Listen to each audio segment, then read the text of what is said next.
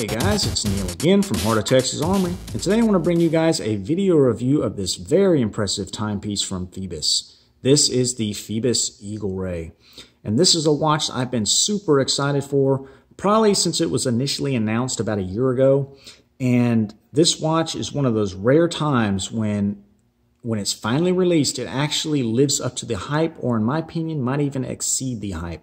It is quite spectacular. So here it is sitting on my 6 and 7 8 cents wrist, looking really nice. And what we'll do, like in all my video reviews, is we'll zoom in, we'll have the specs show up, and we'll talk about the highlights of this watch, and then we'll wrap the video review up with the positives and negatives.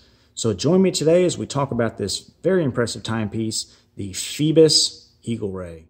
All right, guys, we're zoomed in here so we can talk about this watch in a little more detail. So let's go ahead and slide the watch over and we'll have the specs pop up on the left-hand side of the screen. And we'll start off with case diameter. So the Phoibos Eagle Ray here has a case diameter of 41 millimeters. And 41 millimeters is probably my favorite case diameter size, and I feel it's going to work with most wrist sizes.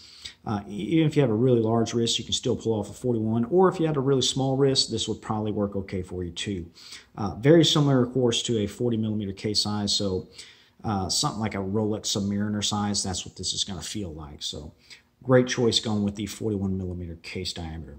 Lug width here for your straps, bands, and bracelets, you have 20 millimeters, and that's a very common size, so that's a good choice as well lug to lug from that point here to this point up here, you're looking at only 47 millimeters, so fairly short overall, uh, and that's a good thing too. So even if you feel like normally that 41 millimeter case diameter is a little large for you, having that short lug to lug here uh, is going to let you probably pull this watch off still. So I love that it's that short. That 47 just wears great on the wrist, as you saw earlier.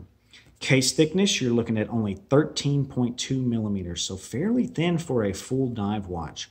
A lot of dive watches these days are closer to 15 or even thicker, uh, and, and anything under 15 millimeters is a positive in my book when it's a dive watch. So 13 millimeters, I think that's a great choice. The weight here, sitting on this current rubber strap here from Phoibos, you're looking at 98 grams. So a decent weight to it, feels good on the wrist. It's not too heavy though, but it, you can definitely feel it is a quality timepiece.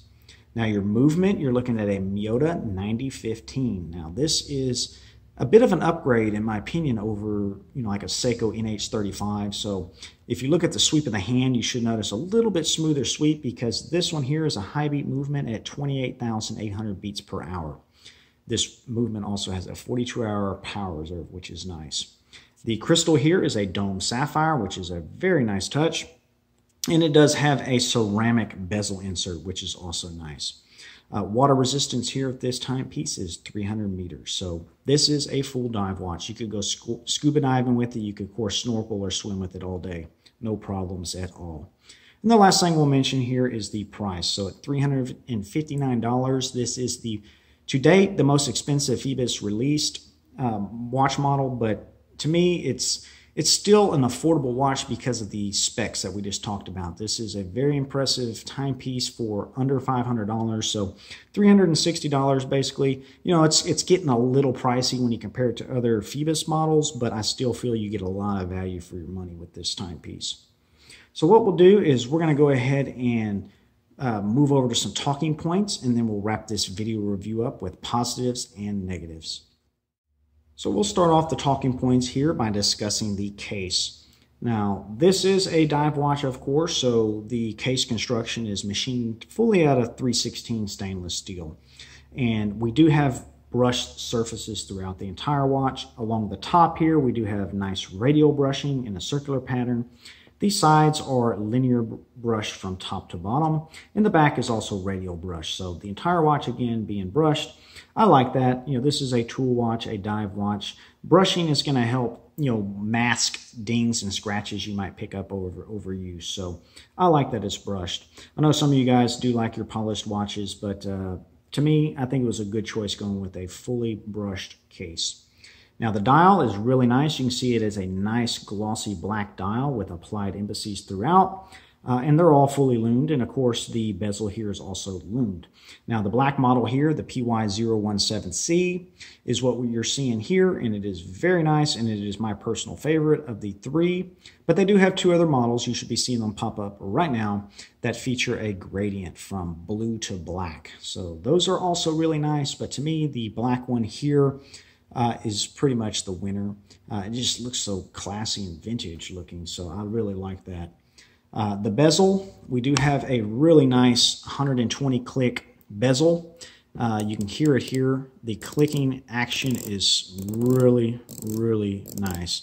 It's smooth, it's very clicky and mechanical, and there's absolutely no backplay, so it's really well done. And of course, it lines up perfectly, so no problems with the, the lineup of the bezel insert. And speaking of the insert, we do have a ceramic insert here. So that's also really nice for this price point. The ceramic is just going to hold up the scratches better than aluminum insert will. So uh, I think that's a nice positive. Now, your crystal, we do have a dome sapphire, and it's not a huge dome, but there is a little bit of a dome. Hopefully you can see that on camera, and it does add to a little bit of a distortion effect when you see it in the right angles, which I like. Uh, but it's not as, the dome is not as pronounced as some other watches that I've looked at. So, um, you know, maybe if you're not a fan of Dome Sapphire, this one might still be okay for you because it's not as pronounced. The movement here, we've already talked about it earlier in the specs, but we do have the Miyota 9015, which is a high beat mo movement that's very reliable, uh, accurate, of course, and it does feature the higher beat count at 28,800 beats per hour. So you do get a little bit smoother of a sweep of the, the seconds hand there, which is a nice touch. The loom on this watch is really, really nice. You should be seeing that loom shot pop up right now. And guys, this is simply the best loom I've seen from Phoibos to date. And their watches just keep getting better and better in regards to construction and also loom. So this loom here is going to work for you uh, throughout the night. If you charge this thing up, it's going to work great for you. Uh, you're never going to have a problem reading this. Even after eight, nine hours, it's still readable. So uh, really good job on the loom here. So I'm very impressed with that.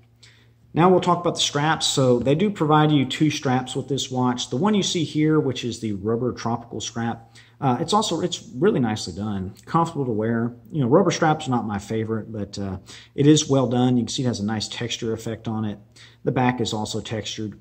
And it is marked Phoibos here at the top which is a nice touch. And they do provide you with a, a second strap here, a leather strap you can see right here.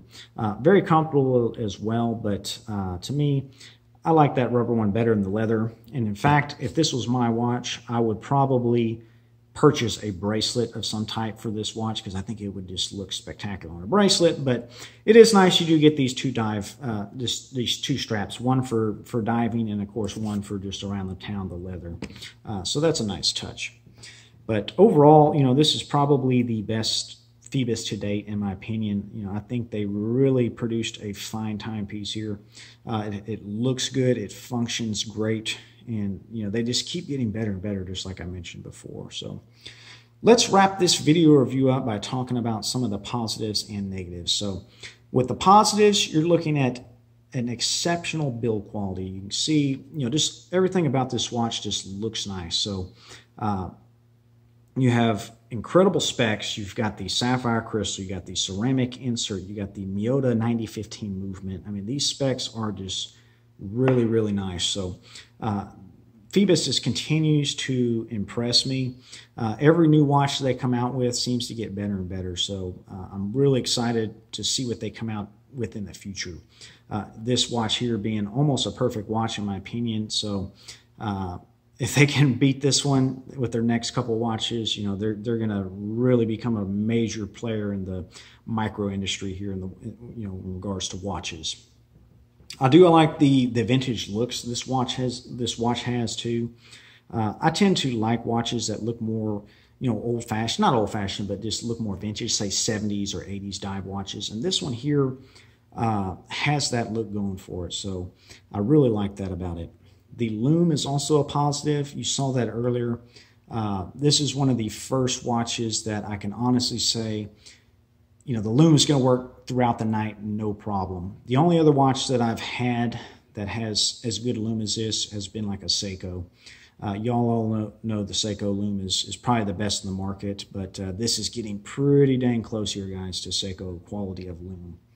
Uh, and the last thing I'll mention here, it has a really good set of specs for the price. So uh, the price is higher than most other Phoiboses, but you know all these things we've talked about, you know, it's still an amazing value here.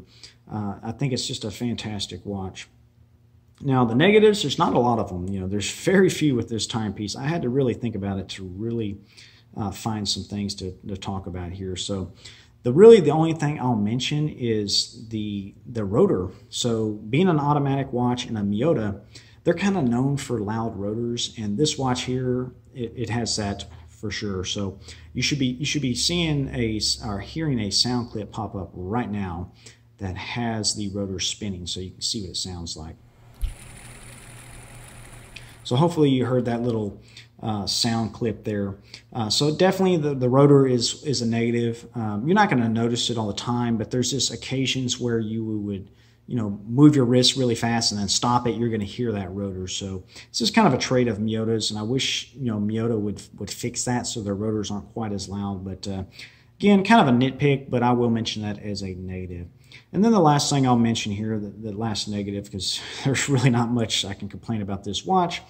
Uh, for the $359, I really wish they would have provided a steel bracelet. I think with a steel bracelet, this watch would be, without a doubt, probably the best timepiece you could purchase for under a $1,000. Um, so it does come with the two straps, you know, the leather and this tropical rubber strap here, but uh, if Phoibos would have came out with some type of, of steel bracelet, I think it would have been just about perfect. Now, the good news is it is 20 millimeter lug width here, so you should be able to find a, a, a steel bracelet if you wanted. But for that price point of $360, I do wish it would have came in the box with a steel bracelet. But that's really the only negatives I have for this watch. You know, overall, it is simply an awesome watch. This watch here I received uh, from Aron Dunlap. It's on a watch tour, so I'll be sending it out to the next guy here soon. Uh, but definitely this is my favorite Phoibos to date, and I'm most likely going to go purchase one of these now because uh, I really don't want to give it up. You know, it's just that good. So, uh, but I have to send it out. Of course, this is not my watch. So, uh, but I will mention, you know, I'm probably going to be buying one of these because you know it just checks all the check marks for me. Uh, I love the size. I love the specs it has. You know, the overall looks. It's the complete package. So overall, you know, I give this two huge thumbs up here. This is a amazing watch. Uh, definitely Phoibos's best to date, in my opinion. And I'm, like I mentioned before, I'm really excited to see what they come out with next. So hope you guys enjoyed this video review. If you have any questions or comments, leave them down below. I'll do my best to answer them. Y'all guys take care. I'll catch you on the next one.